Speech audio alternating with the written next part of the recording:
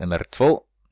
Bestäm lutningen för linjen genom punkterna 2 och 1 och 4 och 5.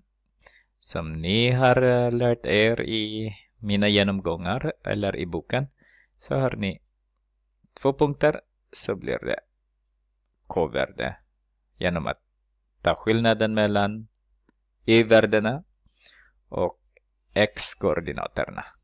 Kanske kan jag säga. Eh, börjar man i femman så börjar man med fyran. Så enkelt är det. Börjar man med ettan så börjar man med tvåan. Så gör vi det. Jag börjar med femman.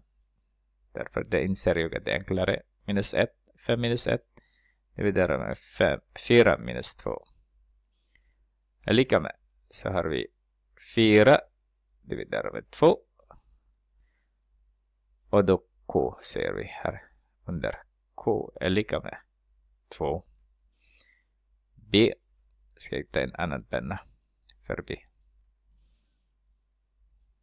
B. K är lika med. Jag börjar med 2.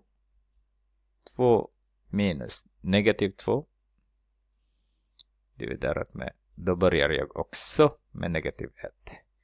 Minus 5. Så har jag 4. Den här blir positiv, så 2 plus 2 blir 4. Sen negativ 6.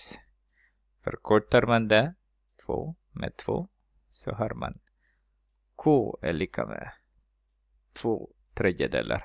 Och ser ni att det finns negativ så det måste vara negativ där också.